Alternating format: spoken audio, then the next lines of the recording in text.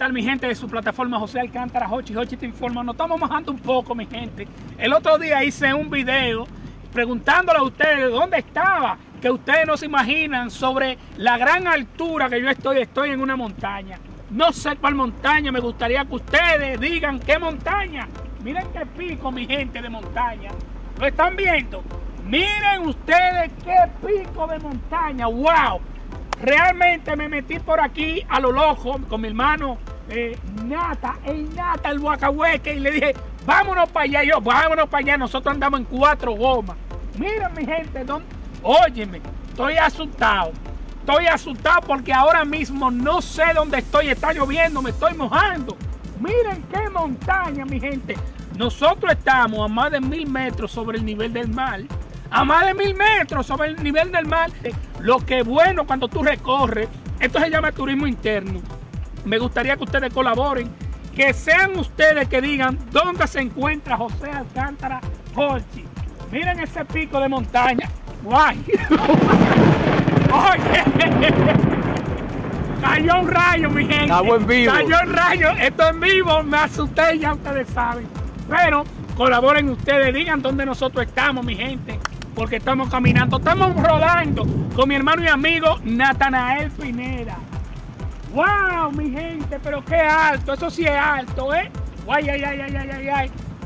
Bueno, mi gente, ustedes vieron ya el video donde nosotros nos encontrábamos, estaba recorriendo eh, en un lugar montañoso con un amigo, con un hermano Natanael Pineda.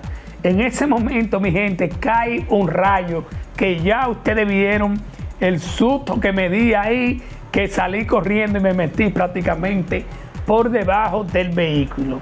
Me gustaría que ustedes compartan conmigo y digan o adivinen dónde nosotros nos encontrábamos en ese momento. Como ustedes vieron, es un lugar eh, montañoso. A lo mejor las personas que residen por ese lugar, que no voy a decir el nombre, quiero que sea ustedes que lo digan, a lo mejor el que vea eh, el, pico de montaña inmediatamente sabrá identificar el lugar donde nosotros nos encontrábamos. Pero miren, cayó un torrencial aguacero que ya ustedes saben las cañadas de agua que habían en esa carretera, que tuvimos que pararnos un poco, esperar que que pasen el agua porque si no nos iba a llevar a nosotros con todo. ¡Wow!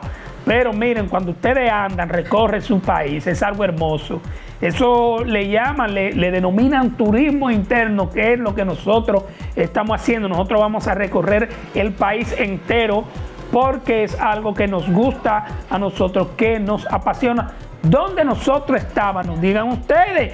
Nos gustaría que ustedes colaboren con nosotros y digan dónde nos encontrábamos en ese momento.